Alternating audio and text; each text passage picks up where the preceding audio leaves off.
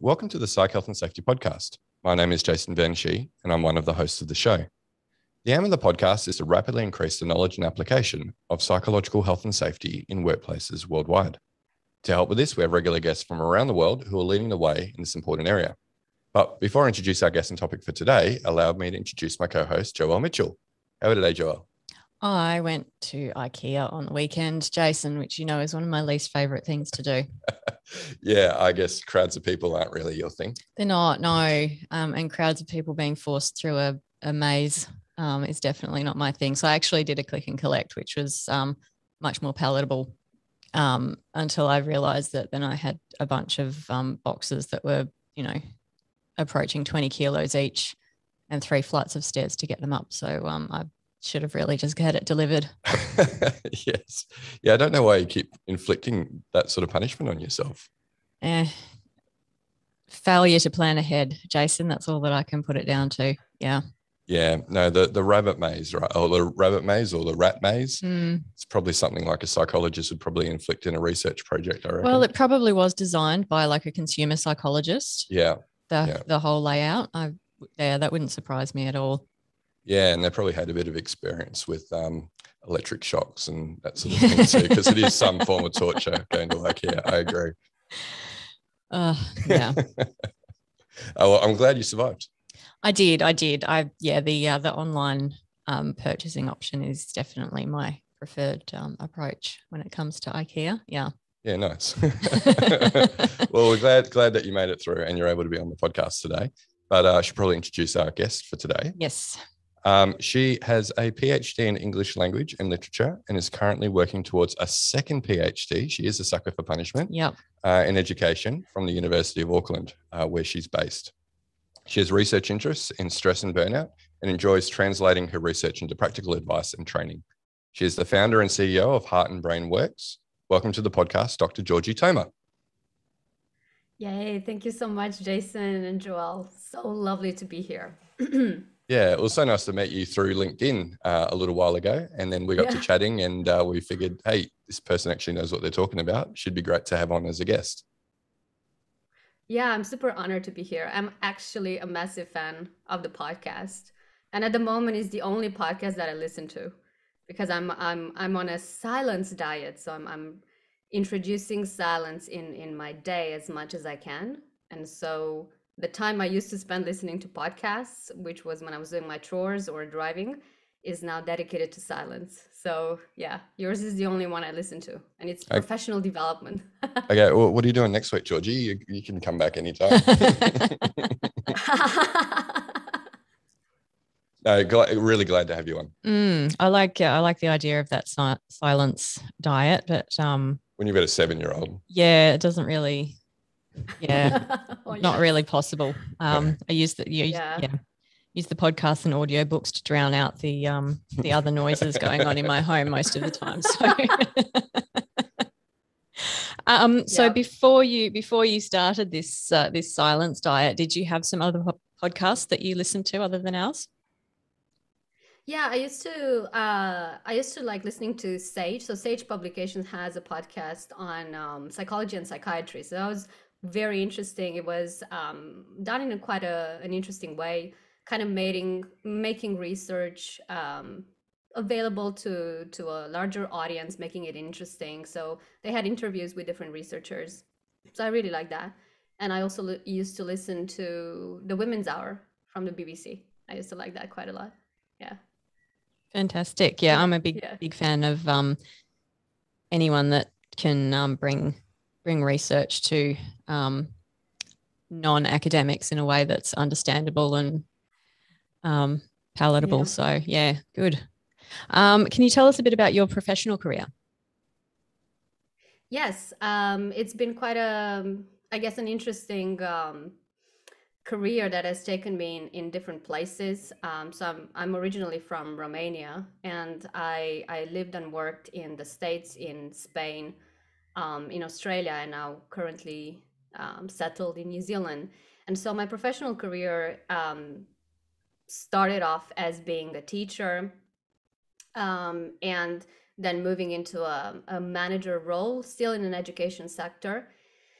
um, and then moving into uh, the role of trainer well it kind of developed alongside the, the, the teaching and the managerial role was the the, the trainer and uh, more recently founder of heart and brain works and still continuing that work of one making research available to a larger audience and then following my passion which is um, really empowering people to understand and believe that they don't have to struggle um, on their own that mental distress is part of life but it is also not not um, a destiny right? That we can take proactive steps to improve the state of our mental well-being. So can you tell us a bit more about your company then? Uh, yeah heart and brain work. Uh, heart and brain works basically was um, was born out of um, I wouldn't say coincidence, but I guess it was born out of my personal struggle with burnout and with depression. So um, as I mentioned before, I, I, I had a management role, and uh, during those years, um, gradually chronic stress became burnout, and burnout became uh, depression. Depression became quite serious depression, up to suicidal depression. And so during this time, I tried to to reach out to an EAP program. I I you know um, tried to reach out to different sources of um, help available, but I didn't quite find something that would um, allow me to change the the type of thought patterns that were making my suffering worse. that were making my stress worse. Um, and at the same time, I was I was still operating in a work environment that was not uh, that had, let's say, psychosocial hazards, quite significant ones, right? And so um, I reached a rock bottom, and basically I had to make a choice, you know, and and that choice was well, uh, you know, you either do something to change your experience of life or simply this kind of experience can't go on. And so I, I, I chose the former make a change. And so i created a program for myself a 90 day program. And at that stage really it was not anything i it was nothing planned about the future. It was simply about survival and simply about this absolute change in in the way i saw life and in the way i saw myself in life. Um, and later on, I mean, after those 90 days, uh, I mean, just an incredible change had happened. Um, I made a decision. I mean, I quit my job. I quit. I quit Australia. I, I, the whole new world started, um, and then I, I started to to share that with others. Um, and so, Heart and Brain Works started that way from that sharing um, and then i wanted research evidence that actually that program works and then kind of developing into understanding the greater picture around burnout the fact that it's not an individual problem that first and foremost it is an organizational problem. And so kind of those layers came with time. Uh, and so here we are now heart and brain works and the research and all of that. That's uh, that's a hell of an origin story yeah. But it, it wasn't meant to be. It was just a series of um, i wouldn't say coincidences but you know life takes you places and then you just roll with it and it, it you know you look back and you create the narrative afterwards but at that time it was definitely when you when you're in the middle of it it's chaos. Yeah. Yes.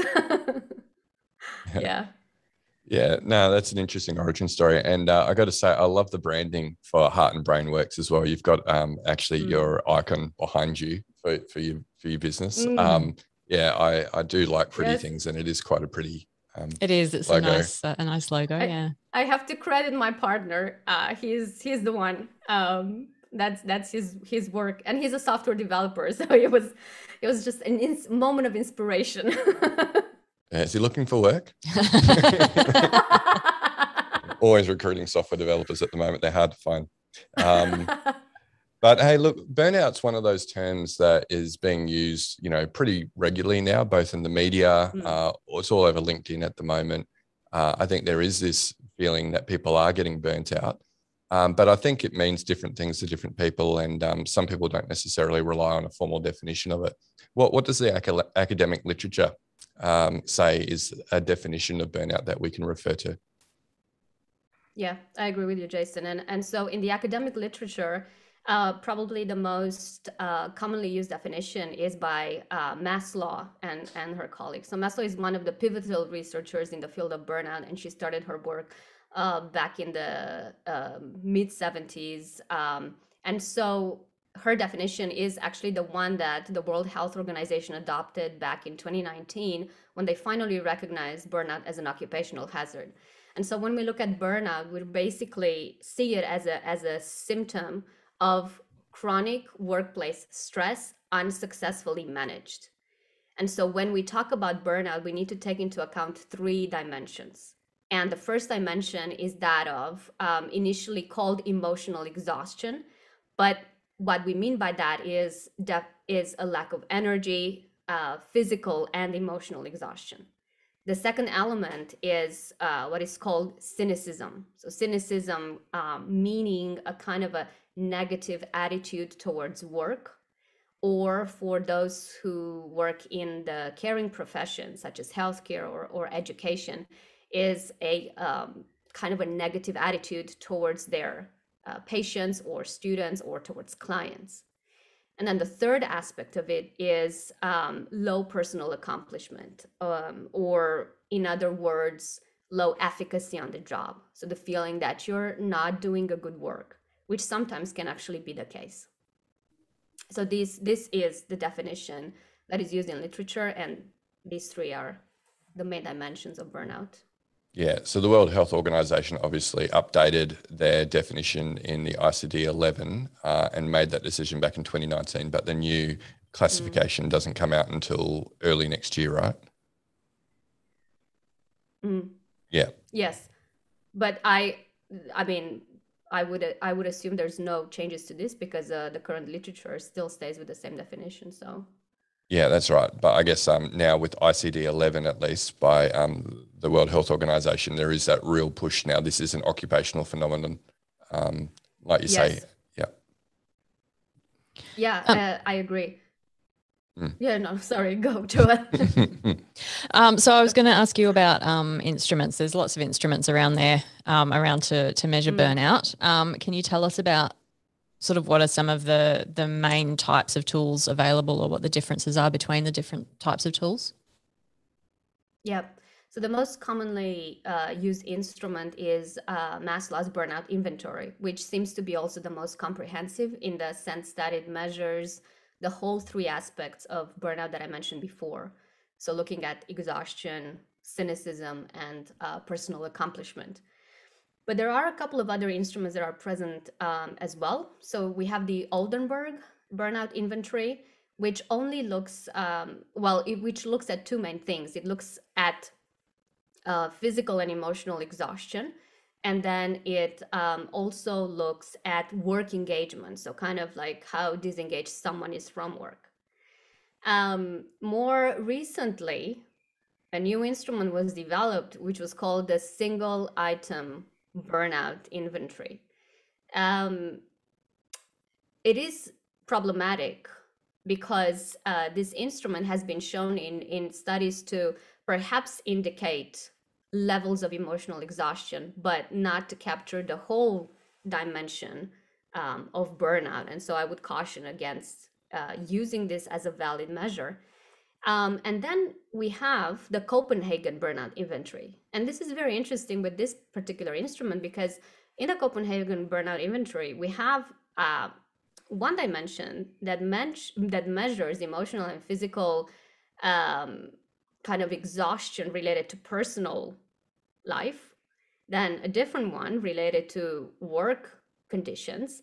Um, and then on the third level, it looks at relationships, so relationships with clients. Um, so that's very interesting because um, coming back to our discussion on the fact that burnout is an organizational problem, first and foremost, I think we need to be cautious um, around using an instrument that um, you know has dimensions around someone's personal life. Because um, if we look at the research um, unquestionably the research shows us that um, the biggest factor in in someone starting to experience burnout are factors related to the organization and and really um, psychosocial hazards present there such as workload low support from supervisor low reward low control over work and so on right um, it is true however that there are a series of individual factors that would make someone more prone to developing uh, burnout symptoms. So it is true that there are a series of factors that allow uh, a person to be more psychologically resilient, right? And these factors have to do with uh, genetics. They have to do with um, uh, someone's. Um, there's been different studies with personality traits. There's been um, studies with um, you know someone's already ex- pre-existing predispositions towards anxiety and depression and there is um, there there are indicators that indeed certain individual characteristics would make someone um, more or less psychologically resilient but the main issue is however that it is an organizational problem so um, what do these differences tell us about the nature of burnout beyond it just being an organizational problem? Um, I think we need to take into account, for example, that um, genetic factors that predisposes uh, towards depression or anxiety that's a factor of risk the fact that someone's earlier life experiences um, if they've had if they have been exposed to trauma chances are they are more uh, uh, likely um, to develop burnout symptoms, for example. There's also different, um, you know, the stress profile. Um, so, for example, people with type A personality, right? People who are extremely competitive, uh, who usually um, create for themselves high pressure environments, people who are extremely perfectionistic. Uh, these are certain tendencies that definitely would make someone more prone to develop burnout.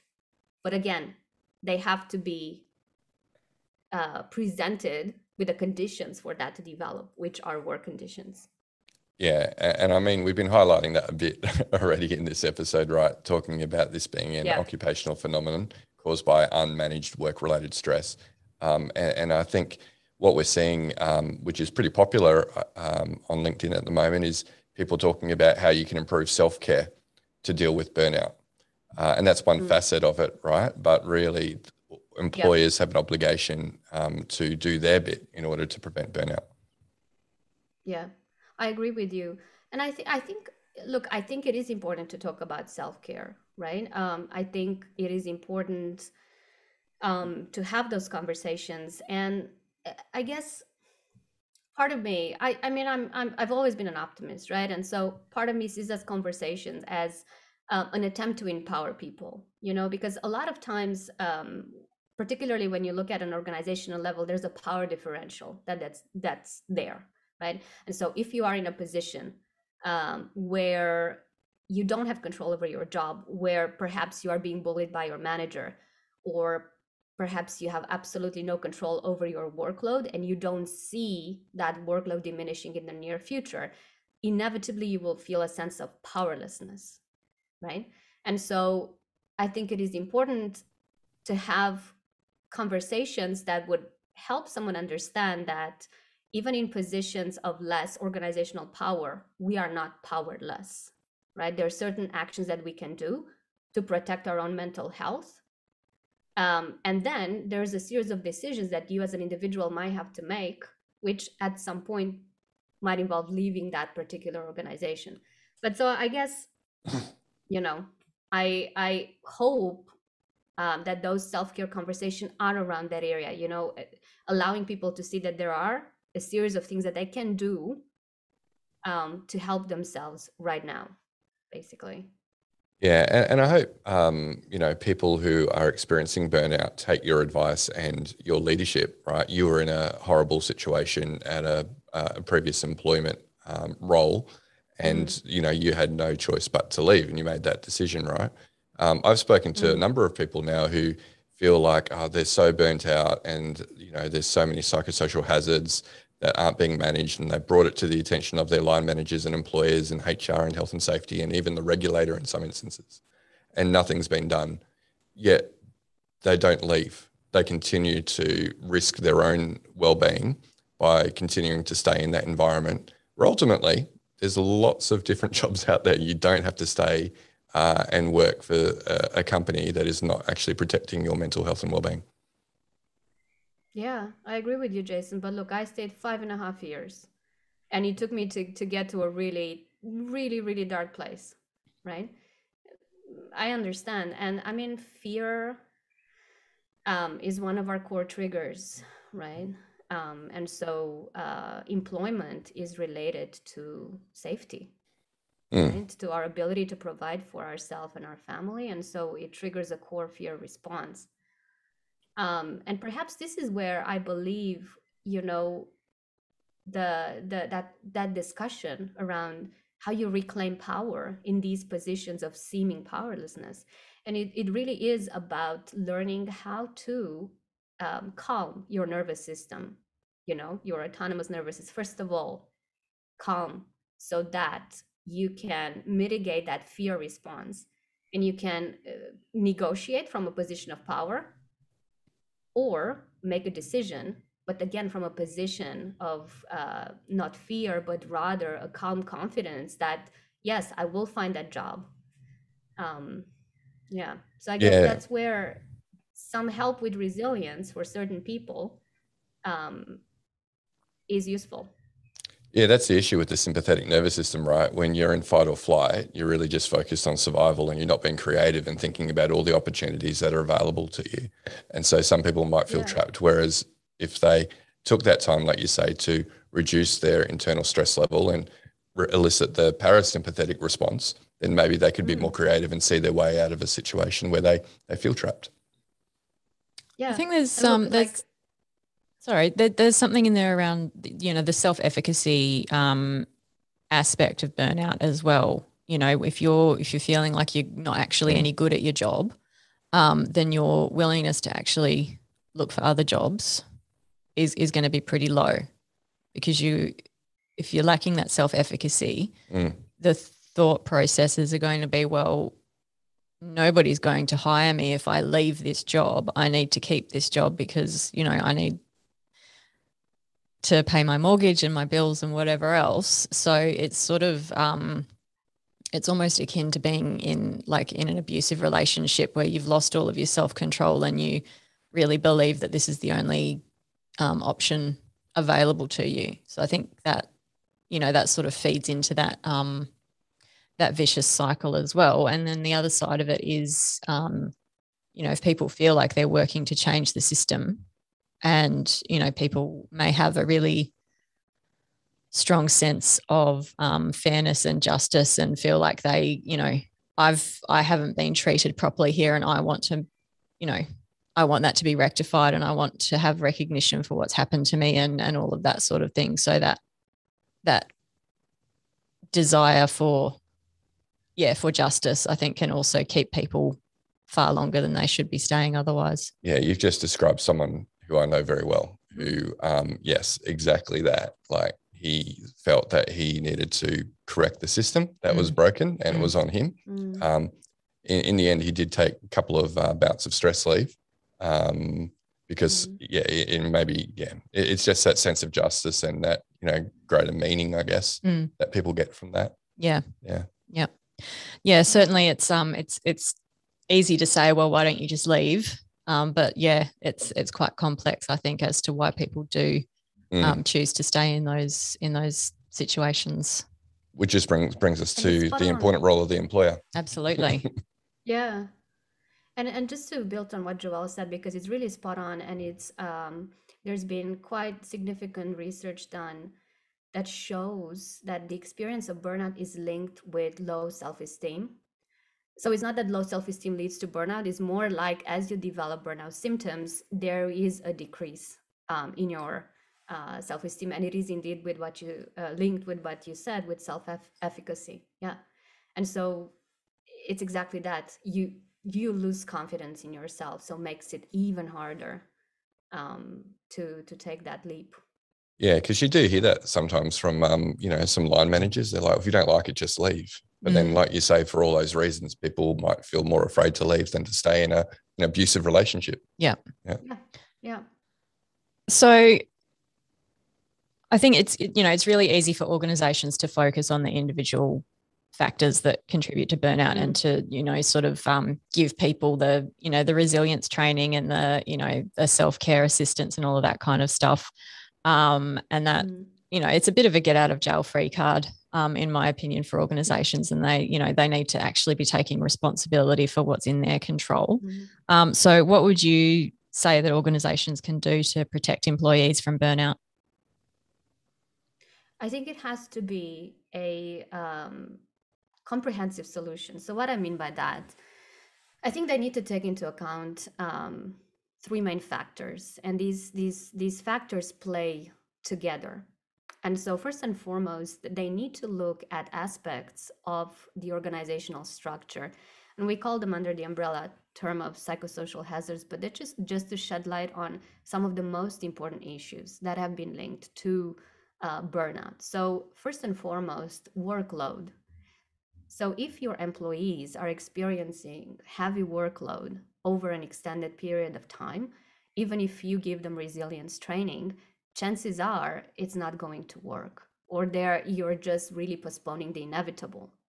And I think interestingly, when we talk about workload, it's important to take into account that there's different ways of looking at that, right?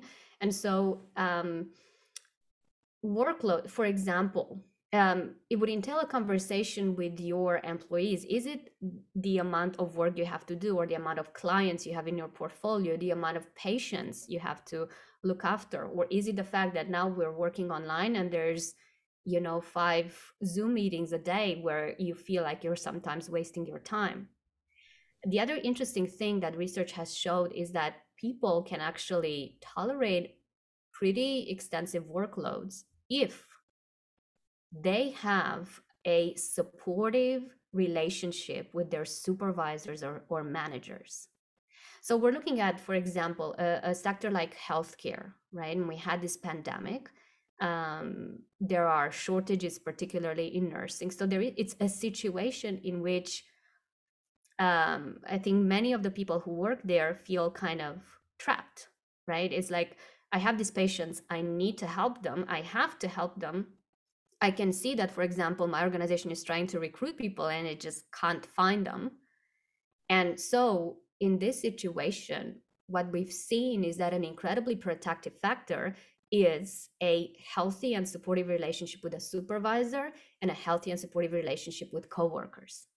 So, again, in the in the in the factors from an organizational level that needs to be uh, looked at so I, I talked about workload. I talked about the relationship with a supervisor, the relationship with coworkers. Um, equally important is issues around um, how much control you have over your work, when you do it, when you take breaks, um, the and issues around, around rewards. And rewards don't have to be financial, but if someone is in a position where they are underpaid, um, and their their their salary doesn't meet their needs that will place a stress. But rewards also um, are related to feeling that you've done a good job and to the fact that your work is recognized on the organizational level right? That your colleagues embrace it that your manager embraces it right? So these are just some of the factors on an organizational level that need to be taken uh, into account and then the second part, I do believe resilience programs are useful and they should be given by uh, companies so that companies pay for them so that employees don't have to go on their own and pay out of their own budget, you know? Um, because I do believe there's a series of skill sets. So, for example, just just a short example on this in the in teaching literature on burnout. So, burnout has been extensively studied, particularly uh, when it comes to healthcare and teaching professions, because these have been and actually historically in the development of burnout as a as a term and research on it they have been the most studied professions because uh, the burnout rates were the highest So in teaching, for example, they've looked at this um, and Jennings and her colleagues, so Patricia Jennings is one of the biggest uh, uh, people in, in the academia that has written about this, right? And she's developed, she, she, she's taken a systems approach to burnout in teaching. And so she came up with, um, um, with um, I guess, a framework that explains that, yes, on a systemic level, uh, the issues that I just mentioned before around workload and so on, but there's also a personal level. And so she's identified a lack of what she calls social emotional uh, competencies. So it's really around um, how well person knows how to regulate their emotions, right? Uh, th- that's just one example. And so she talks about the importance on, of having those social emotional competencies. And she's done many, uh, and then she's done a lot of research that shows that in the absence of those competencies what happens is what it's called a burnout cascade so what it means is that you know a stressor comes up um, a person engages in a maladaptive behavior like uh, you know for example uh, when a, a, student says something uh, that you as a teacher might perceive as you know disruptive or insulting. You don't have the emotional regulation skills to kind of calm your reaction but rather you react in a way. You know it's like you to you know shut up or whatever. Um, and that reaction engenders um, negative behavior classroom disruption so all of this that's what she called a cascade um, a burnout cascade. So i do believe that resilience whether we call it resilience training or social emotional competencies uh, i think the terms you know it's useful to define them, but uh, basically the core of it is there are certain skills around emotional regulation and stress response that a lot of people don't know and that they can use. And so I believe organizations should pay for it, as I mentioned before. So that's the second thing in my first look at the organizational level, then offer some resilience training, and then look at your managers. You know, what happens not always, but sometimes you have a person who's an expert, right, at what they do, and the organization wants to promote them, wants to keep them, wants to raise their salary. And so, okay, how do we do that? Well, we promote them to a manager level, and now they're managing people. And you know, they're experts at what they do, and that's absolutely great. But we know that there is a whole series of communication competencies um, that need to be there in order for a relationship, a manager kind of report relationship to be healthy and successful. And so I think it is important for organizations to recognize if they've promoted a person that maybe needs help in developing those competencies and then giving them the appropriate help. So that's, that's my the, um, that's my long-winded answer. no, that that's good. Just to to add to that last point, I think um, you know, not everybody who is in that really um, that that level of competence where they're ready for a promotion they, they don't necessarily want to go into a leadership role you know they really like doing their technical work and they like to be able to be an expert in what they do so i think organizations need to have two different promotion pathways you know they need to have that management option but they also need to have that you know yeah, promotion through into you sort of um, subject matter expertise status within the organization as well, um, so that you don't have, yeah. you know, management as the only promotion pathway for people who really aren't interested in in management and will just end up micromanaging their teams. Yeah, I so agree. I so agree. And and I think uh, another thing that and the last thing that I want to um, um, address is um, I haven't mentioned this before, but um, one of the crucial factors is uh, bullying right and whether this is present in the organization and whether it comes from a manager or from a coworker so it is absolutely crucial for organizations to have some method or or sorry not method but like system in place where they can where, where they can actually see if that's happening or not anonymous channels where people can talk uh, because this is an absolute um, uh, it's a very serious issue. Yeah, um, actually, I've seen um, more and more discussion around incivility versus burnout, right? So, not quite mm-hmm. reaching the um, you wouldn't say diagnostic criteria, reaching the def- formal definition of burnout, but still people making it difficult. Bullying, do you mean? Yeah, bullying. Yeah, not, oh, sorry. Yeah, not meaning the definition of, of bullying, but, um, you know, making it uncomfortable for colleagues in, in the workplace. Um, yes. So, yeah, I, I think there's probably a lot more incivility because people get clever and they game the system and they go, well, I don't want to be able to be called out on bullying, but I still, you know, I'm going to make life hard for these people. Mm. Um, you, you, mentioned before about resilience training um, that mm. employers mm. should really, you know, provide to employees. And I'm actually of the opinion as well. Like, if you're not going to eliminate a psychosocial hazard uh, or all psychosocial hazards, which is pretty mm. much impossible to do uh, in a workplace, then the mm. very least that you should be doing is providing training on self care and how to recognize the signs of mm. things like burnout and stress and how to how to actually manage these effectively. Um, but what else could an employer do if employees are starting to exhibit symptoms of burnout? I think, uh, in short, it would be take action immediately. Like, don't wait. Start taking action, and I think start by consulting your people, and and start a consultation, um, not just for the sake of consulting, but with the commitment to follow through on what you find is not working well in your organization.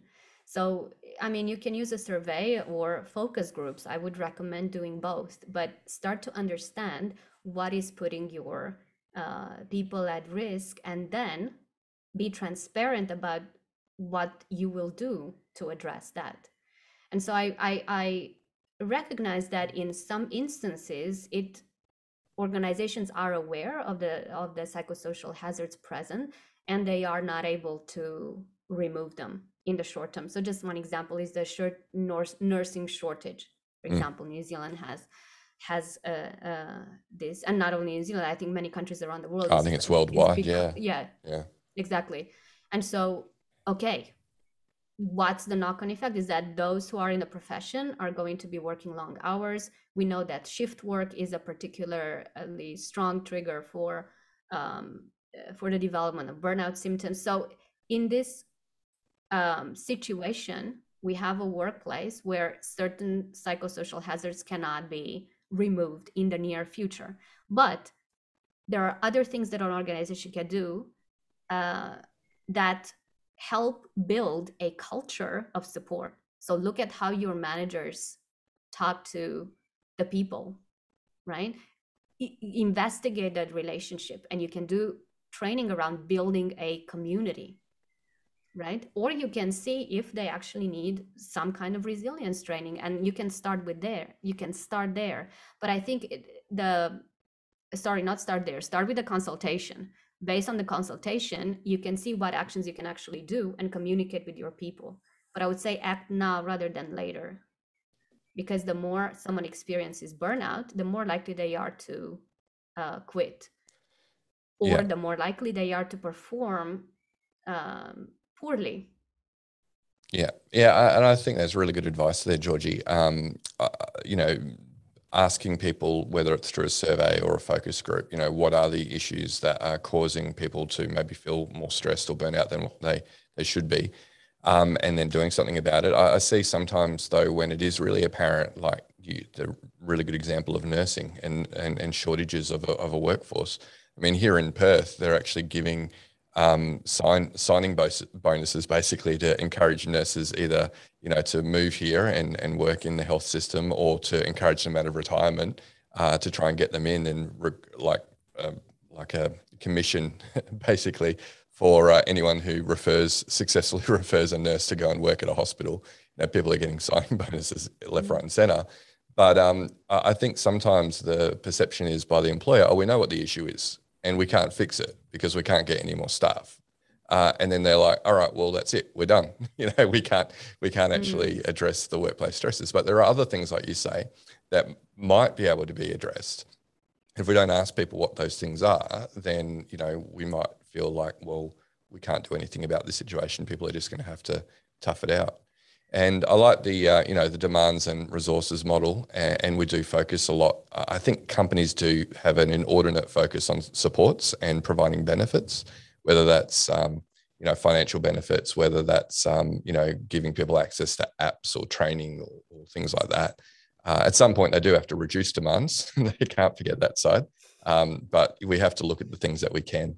And, and on the measurement thing, um, I see many companies who are you know even I think some or the majority of companies that are doing it are probably just the early adopters of psychosocial risk assessment, and they are confusing it with the employee engagement survey and they think well if we do it once a year we've done our risk assessment you know that's great. But as we know hazards can emerge very quickly and a lot can happen in a year. So if you're waiting a year to identify the hazards and if people are going to be at risk of stress and burnout you know you potentially could be harming a lot of people um, if, if you're having that infrequent a cadence for when you're actually collecting data um, and so, yeah, you know, Joelle and I have been really pushing for people to collect data more regularly on, on these things, uh, even on a monthly cadence, uh, in order to both uh, identify hazards as they emerge um, and be able to mm. even come up with informal controls for it, not like a full blown psychosocial um, uh, action plan, um, but really empower uh, really quick and agile action to make sure that we're protecting people. Yeah, I absolutely agree. Absolutely agree. Once a year is not enough, and um, it's different from employee engagement. I, mm. I, I, I so agree. There needs to be an awareness um, as to what the difference is, and um, and so I agree with you. Having a way of measuring it more regularly, and even in my opinion, if you put in a system in place whereby you are able to see that your managers are performing well they're on the right track there's there's no bullying happen there then you can actually use your managers as the first point of um, not first point of contact but kind of like the front line of noticing if something is not well right? Because they check in with their team. And and the when you work with someone you are in the best position to notice if there's some deviation from the baseline right and if the relationship is healthy, then there is enough trust to have a conversation about what's going on. And so I think, again, there's different ways of approaching the problem, and probably coming from all three at the same time would allow a balance to be established, right? Um, but yeah, um, and and the the I guess just one final thing, it is important for the leadership, right? The executive leadership to be on board and to kind of demonstrate a good example, right? Yeah. Because otherwise we have perceptions of hypocrisy or lack of trust and and trust in an organization in and fairness we've talked about it before they're really important factors yeah, yeah. I, I, think what you say about empowering line managers uh, is so important. We know the hazards can be very different from team to team in an organisation, um, and just taking an employee engagement survey approach and going, well, look, let's identify the global factors and come up with a global level intervention or control. Well, you're not actually not going to get to the heart of the problem because you know we talk about leadership behaviours, incivility within a team, these are like personal dynamics. It might not be a global issue. It could be very um, localized to a specific mm. team. Mm. Um, so we really need line managers to be equipped to understand the psychological hazards that they need to be um, mindful of, and what could they be doing at a team level to to uh, address these hazards very quickly versus a once a year kind of employee engagement survey. Actually, you did say that thing like it's important for people to understand the difference between, say, an employee engagement survey versus a psychosocial risk assessment. Mm got my own answer to that. But while we've got you here, Georgi, what, what would you say yeah. would be the difference between the two?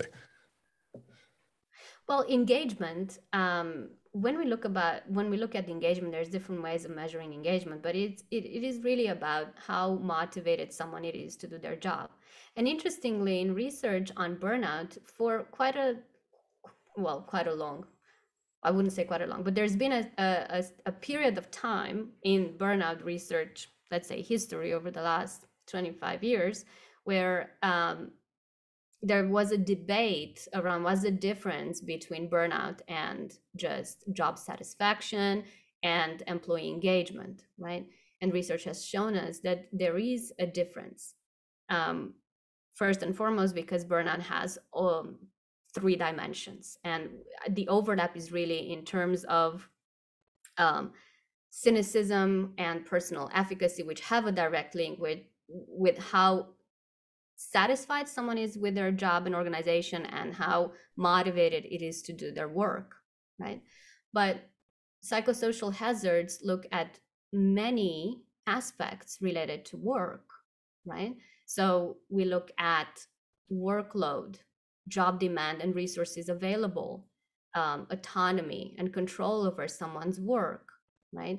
Uh, behaviors um, such as bullying, that relationships with managers and coworkers. So it's, it's they're more um, there are more varied factors, right? And they are of course linked with um, job satisfaction. Does that make sense? Mm. Yeah, no, no, absolutely. Like yeah. Add? Yeah.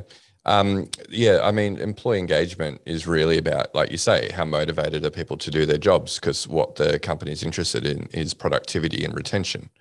Um, whereas with the psychosocial risk assessment, we're trying to work out how stressed someone might be due to work-related factors and the impact on hmm. burnout and um, you know mental illness development.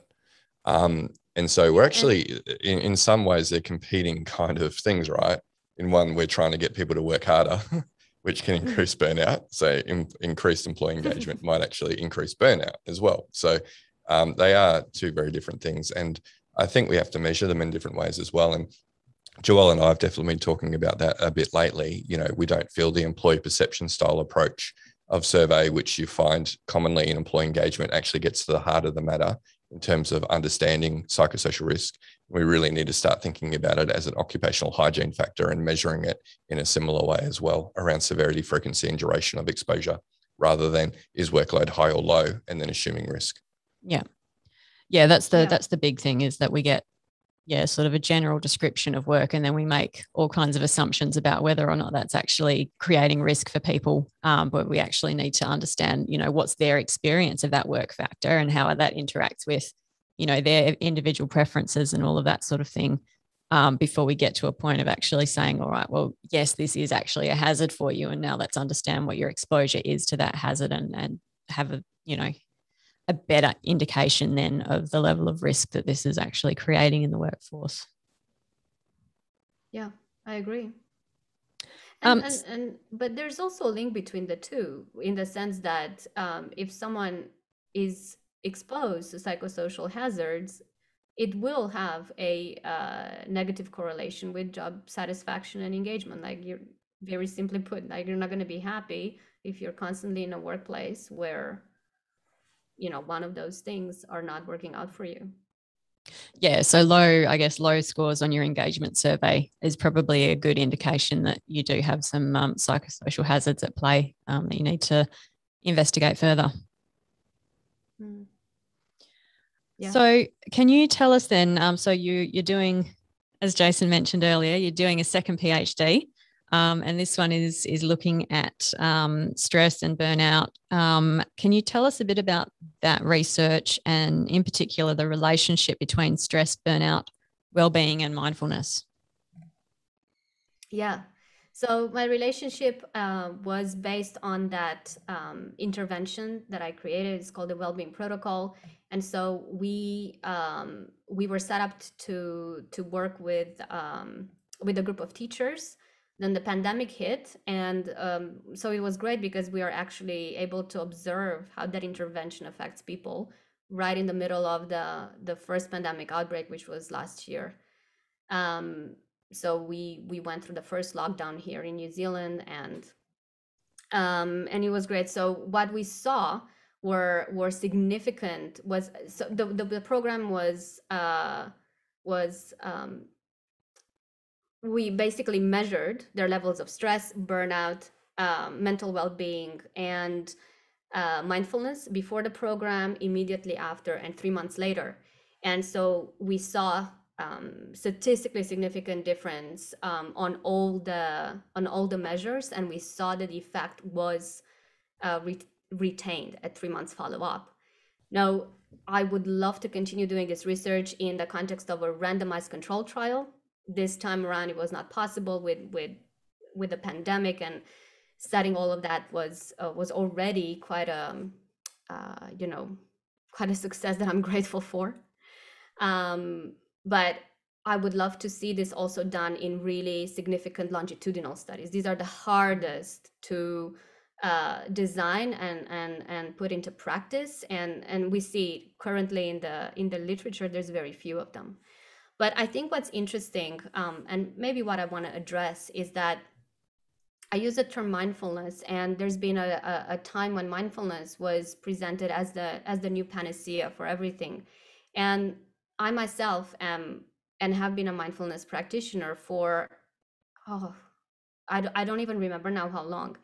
But the interesting point is that uh, that I was, for example, practicing a form of meditation back then when I was experiencing my burnout and depression, and in and of itself, it was not. It didn't give me enough tools to protect myself from that and so that is why um, in this research and in the and in the well-being protocol i take an approach to mindfulness that is more based um, on obviously mindfulness comes from buddhism right? And, and and and an eastern tradition that is incredibly powerful and offers us incredibly powerful tools. Uh, but there's also a growing western tradition of studies on mindfulness and uh, particularly the work of Jon Kabat-Zinn from the General Hospital of Massachusetts, and he is probably one of the pivotal um, pioneers of mindfulness in the West. And he created what is now known as uh, MBSR, mindfulness based stress reduction. And at that time, they would send him those patients with chronic pain that no one could help. Medication couldn't help them. They was like, they were just suffering, and they, you know, modern medicine kind of failed them. And so through his program, uh, through the MBSR program, those people got reduction in pain, got improvements in immune system. So there's hundreds of study from the medical field that show particular types of mindfulness interventions can have significant impact not only on stress or burnout, but on um, improving immune function, on reducing um, conditions such as psoriasis. So I think that is important when we consider an intervention for a workplace or a program that we want to join to look at what type of mindfulness tools they use and if they use something that is supported by research evidence. I think it's important to have some rigor um, on that. Um, but also yes more overall what i what i would like to report is that even though mindfulness is definitely not a panacea and and mindfulness won't help you if you are living in a toxic environment um, and if you are working in a toxic environment it can however help disengage uh, your fear response. It can help you protect yourself and your mental and physical well-being um, and then hopefully make a make a make an informed decision from a place of power. That's an excellent summary. Thank you Georgi and i um, absolutely echo your views around um, you know any any interventions that organizations are implementing need to be grounded in evidence yeah, yeah. terrific uh, yes yeah uh, Georgi, I got to say, this has been the most comprehensive discussion I think we've had on the podcast around burnout. Mm. So it's uh, been terrific having someone being able to explain these concepts so well. Mm. Um, so thank you so much for that. Thank you for having me. Yeah, well, we're still not finished yet. So um, we love to ask all of our guests this this question: um, What are your hopes for the future of workplace mental health?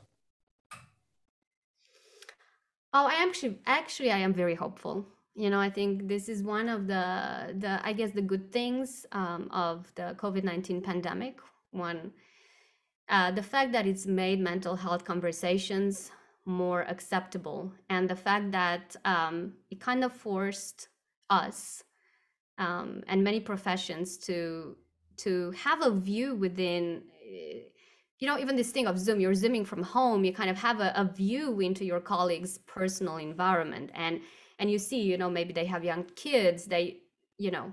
And so i am hopeful that this uh, first of all um, awareness and more normalization of mental health conversation continues that there's less and less stigma around that. And I am also hopeful that regulators will pay more attention um, and I guess push forward the work that's already begun around, um, you know, creating more legal obligations for workplaces to look at psychosocial hazards and to protect their employees' mental well-being. So I think we're moving in the right direction. Probably slower than we could, but uh, I am nonetheless uh, quite hopeful because even even just thinking back before the pandemic, um, we or at least I, I I wasn't observing as many mental health conversations as we do now. Yeah, it's definitely been a good mm. byproduct of the pandemic to uh, really raise the uh, focus around things like well-being and, and stress and um, burnout and mental health in the workplace. Um, definitely seeing um, in Australia, at least, you know, we are moving in the right direction in terms of regulations and codes of practice, and um, we can see the regulators are arming up and starting to hire more and more um, mental health uh, professionals to come in and, and act as um, uh, inspectors yeah, so, yeah, and giving notices to organisations who aren't um, adequately controlling their their risk. Yeah, yeah. So definitely in Australia, um, yeah, the regulators are starting to get their act together in this space, and obviously they can do uh, with obviously with um, the codes of practice coming out now and and um, the new regulations being drafted. They've got a lot more to go on. So mm. yeah, I think it's heading into the right direction, and uh, unfortunately. It's taken uh, a stick to get some companies moving, but you know whatever it takes. Absolutely. Mm. So, um, Georgi, do you have some words of advice that you'd like to share for uh, professionals who want to work in the field of psychological health and safety? Uh, just do it. I, I would say this is, uh, yeah, I mean, it's exciting to be in this space uh, because you're actually making um, a, a difference, right? You can, this is highly rewarding type of work um, so yeah, just go for it. And also, it's good to be in it now, where we're seeing a kind of a global movement um, that's that's supporting this. Um, so yeah, I think it's exciting. We also think it's exciting. That's why we do it. No, um, yeah, Georgi, again, thank you so much for coming on the podcast today. Um, it has been a very interesting and uh, exploratory discussion on burnout, um, and you did it great credit today. So thank you very much. Thank you so much for having me.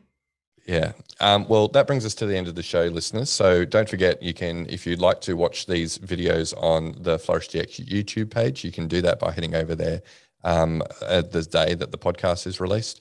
Um, also, on the FlourishDx LinkedIn page, you'll notice that we put short clips uh, from these podcast episodes on there. So do follow the FlourishDx LinkedIn page if you want to get all of the best bits from the podcast in the short bite-sized segments.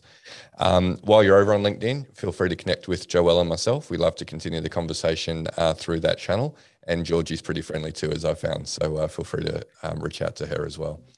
Um, so that brings us to the end, listeners. We'll catch you next episode.